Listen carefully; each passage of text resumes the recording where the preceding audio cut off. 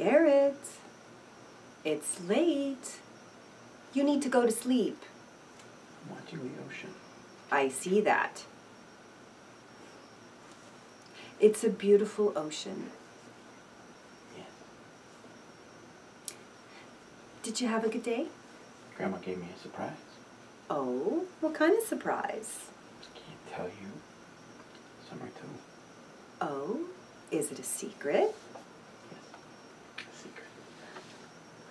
I'm gonna swim in the big pool. What big pool is that? I can't tell you. It's a secret. Garrett, I would love for you to swim. And I know your grandma wants me to let you, but it's just that Grandma swims good. I know she does. And Summer too.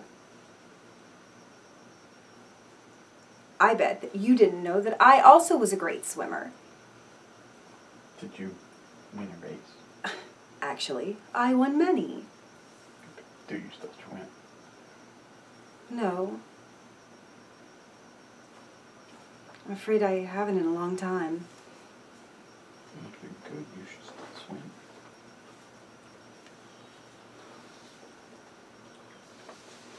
And this is my first high school meet swim meet.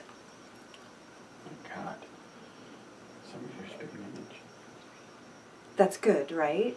Well, it is. Oh, and here's the kid's fifth birthday party. Very cute. Uh, Look, I don't want to bore you. I'm sure this is like watching old movie home movies.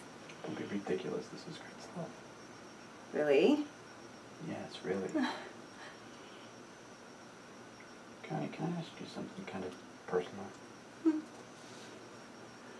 What happened to your husband? Oh, him. You don't have to tell me. It's all right.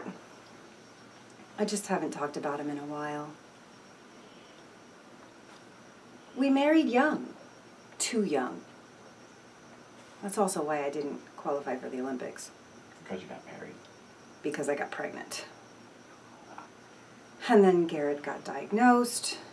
He left. And that was that. I never heard from him again. You couldn't deal with it. Nope. What about you? What's your story? Oh, her. Yeah, her. I met Heather in college. She had a thing for swimmers. Thought I was going to be the next Mark Spitz. We married my senior year. Oh, me too. So what happened? Blew out my rotator cuff in the Olympic trials. She deal being married to a high school swim coach, and that was it. Hmm. So, we both made bad choices. I'll say. Hi, my name is Tracy Roese. I am represented by Belinda Michaels, talent agency out of Atlanta. I'm reading for the role of Connie, and this is my profile and body shot.